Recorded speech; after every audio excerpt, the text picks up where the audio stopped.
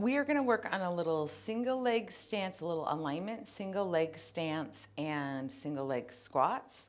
So starting out with alignment, just standing ideally in front of a mirror, you're gonna tune into your body and think about having your feet hip distance apart so your heels line up with the middle of your back pockets. Hip distance is not way out here.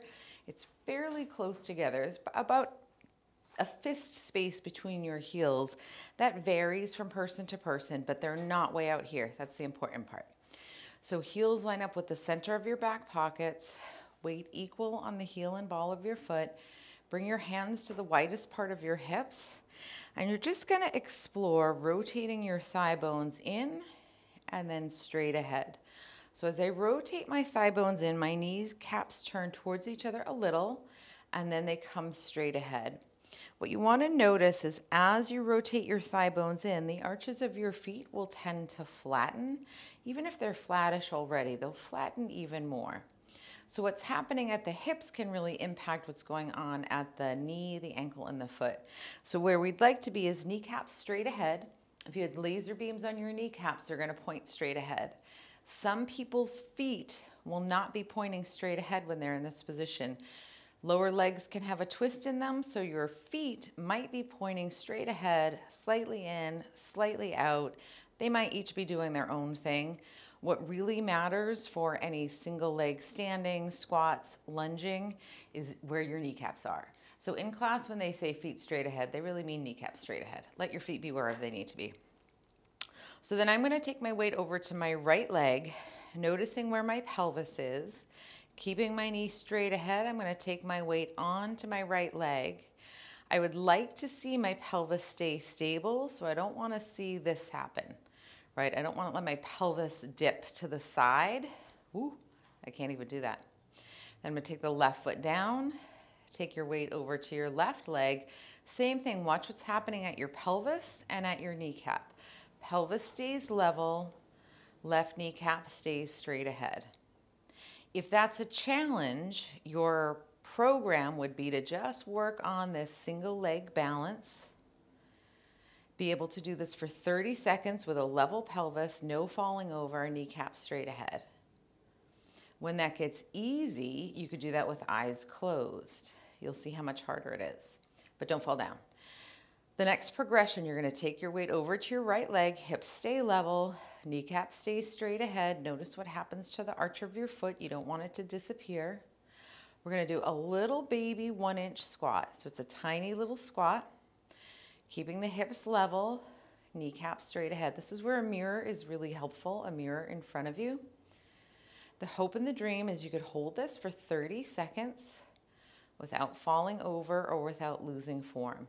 If you're super wobbly, you can be near a wall or a countertop and have one fingertip for balance. It's amazing how much that will help you.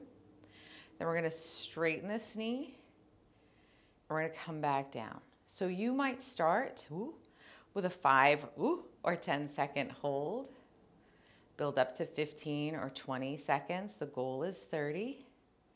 And then we're gonna come back up. We're gonna stay on the same leg. We're gonna do three times. I probably should have had a chair nearby. Right, so alignment's really important. You'll feel and see some wobbling, that's fine. Connect your hip bones, keep breathing. The important thing is pelvis level, none of this. Ooh. Okay, switch legs and I'll show you how to do it wrong on the other side as an example. Okay, so find your alignment again. Take your weight to the left leg. You're gonna pick your right foot up, keeping your hips level. Again, don't let them dip right? So don't let your pelvis tip to the side. That's usually what happens. So you're gonna work this left leg, reach into the floor. We're gonna come into a little baby squat, like one inch. I'll give you the side view. So we're keeping our alignment front to back. Body is staying upright, trunk is upright. It's a little tiny squat. If I look, I'm gonna fall over. That's one way to add challenge. We'll hold for about 30 seconds and then we straighten the knee. We come back in, keeping your alignment pelvis level, kneecap straight ahead.